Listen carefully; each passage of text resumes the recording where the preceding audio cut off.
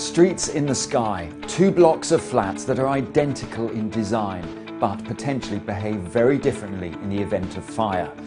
Building A has basic structural fire safety provisions, but a number of important issues have been ignored or overlooked in the fire risk assessment.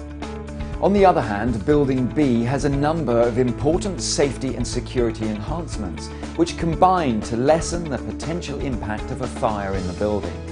The performance of these two buildings will become evident as we follow the action of fire crews called to a fire.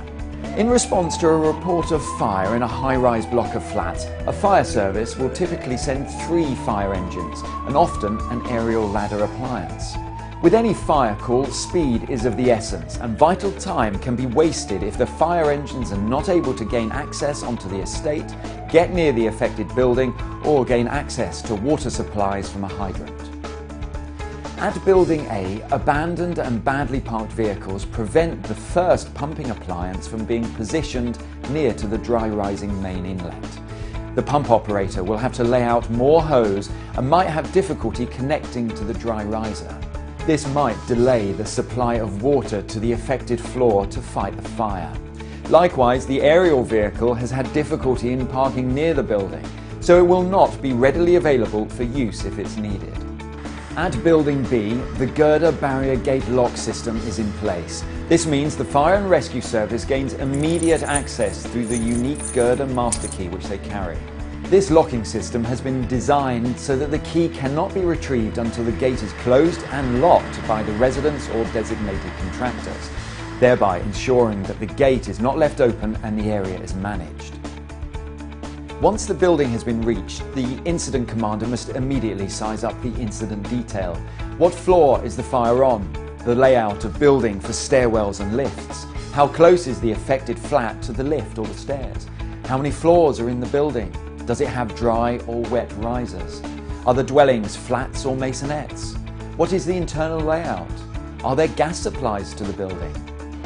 In Building A, there is no one to meet the incident commander and no information at hand to refer to. So the incident commander has to rely on information being radioed back by his first crew who act as a reconnaissance team.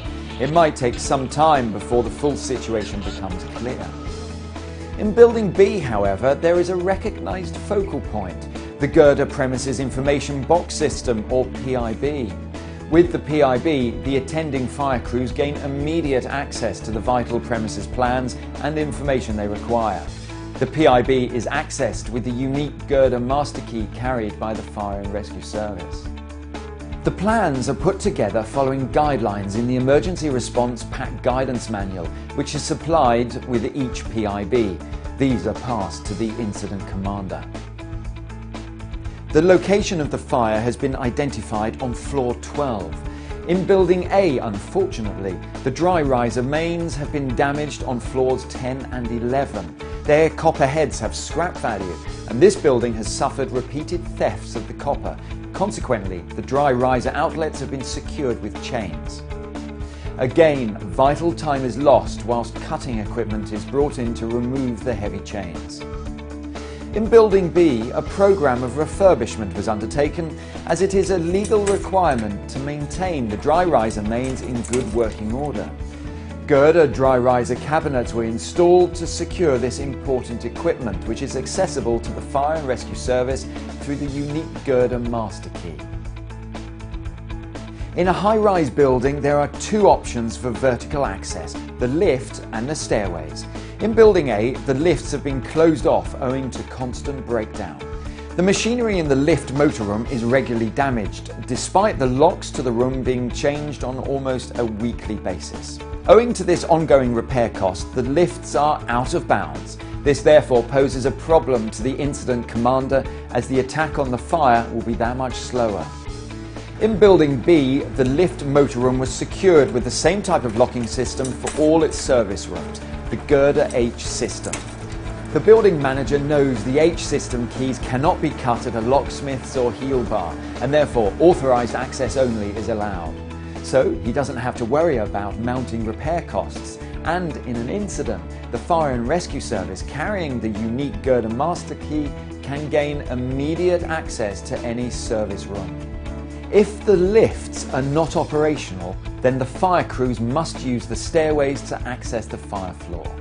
How well the fire door sets perform may have a bearing on the firefighting operation.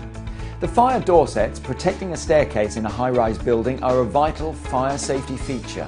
If one door fails and allows smoke into the staircase, the whole building can be affected as the stairs will become impassable for anyone trying to leave, and the fire crews will need to use breathing apparatus from the moment they enter the building. The fire doors in Building A are old and worn and in a generally poor condition. There are gaps between the doors and frames. Vandals have repeatedly broken door closers. Maintenance budgets were exhausted long ago, and so much of the damage now goes unrepaired. Fire resisting glazing has been broken and replaced with ordinary glass. Some doors bang loudly when they close, so residents have wedged them open. In short, the doors need replacing, but the housing provider, worried about cost, has decided to patch up the old ones. A few bits of replacement intumescent strip and a jobbing carpenter will sort it, surely. Building B, however, identified during the fire risk assessment that its fire doors were in poor condition and undertook a programme of fire safety works to replace door sets. The Gerda FDS range of fire door sets they installed are tested and certified to BS 476 Part 22 as a complete door set, i.e. the door leaf, frame, glazing, door closer, hinges, intumescent seals and photoluminescent signage.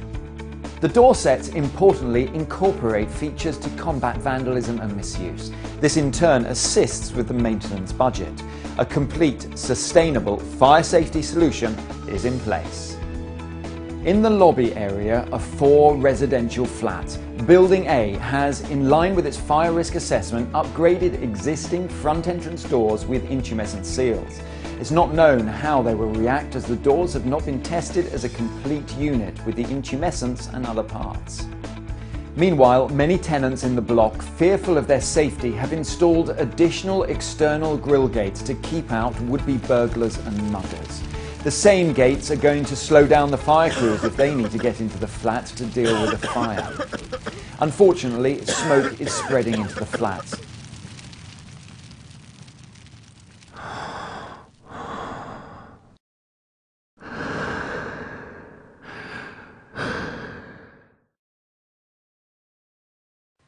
Building B, however, had looked at the security of the front entrance door set for inner city high rise buildings, together with the problems facing its particular environment, and took the decision to incorporate fire safety at the same time. So they specified the Gerda Capital door set range to reduce ongoing maintenance costs.